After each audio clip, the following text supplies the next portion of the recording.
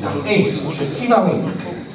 nella seconda pagina dove nell'ambito dei fondi europei sviluppo regionale FESR indicando la somma impegnata per il comune di 13 milioni 385 mila dispari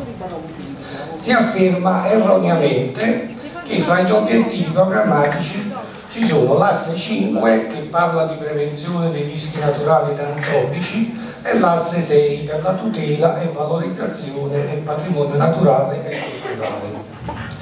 A rigore del vero ed in accordo alla normativa su tali fondi, PICS, che significa Programma Integrato Città Sostenibile dato alle 19 città medie,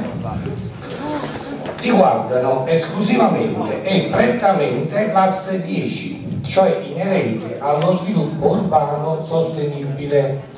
per l'attuazione dell'asse 10 del POFES campagna 2014-2020, il quale è, come sappiamo, il documento di programmazione della Regione e costituisce il quadro di riferimento per l'utilizzo delle risorse comunitarie del FES per il periodo di programmazione in corso.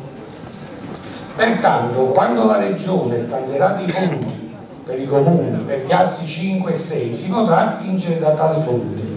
per quel tipo di intervento, ma non certamente da questi fondi PICS che valgono solo ed esclusivamente per l'asse 10, anche perché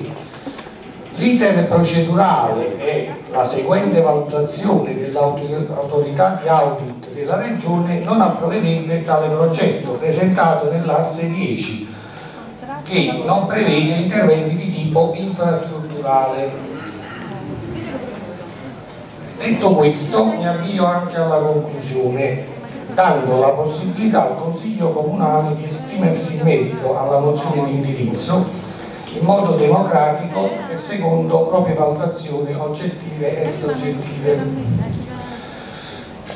Inoltre, a supporto di quanto detto, sono in possesso di documentazioni inerenti sia ai FESR che ai PICS e documenti ufficiali della Regione Campania. Resta a disposizione dei consiglieri per eventuali consultazioni.